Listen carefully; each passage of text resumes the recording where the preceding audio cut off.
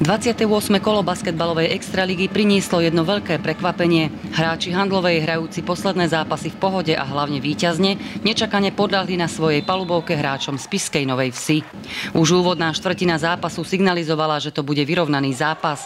Spišiaci hrajúci sústredenie veď hrajú o účasť v play-off, počas štvrtiny zistili, že MBK nehrá podľa očakávania a druhá štvrtina to dokonale potvrdila. Hráči hostí ubránili handlovú na 15 bodov a sami dokázali získať 9-bodový náskok. Polčasová prestávka a určite aj rázny dohovor trénera Maximoviča Handlovčanom pomohol prevziať iniciatívu v zápase. Ich stredajšie maximum však bolo krátke vedenie po Haviarovej trojke 47-46, necelé 4 minúty pred koncom tretej časti. To však boli posledné body MBK v štvrtine.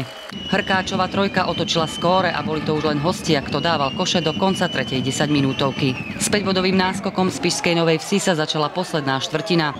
Handlová sa už nedokázala dostať do zápasu. Braunové body v úvode štvrtiny znamenali náskok hostí o 8 bodov, trojka Mandiča už o 11.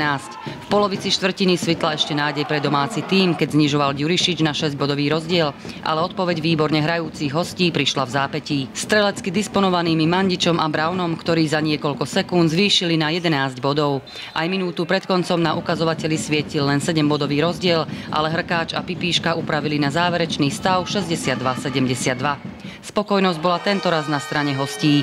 Ich hráči ukázali veľkú snahu po víťazstve a to sa vypláca.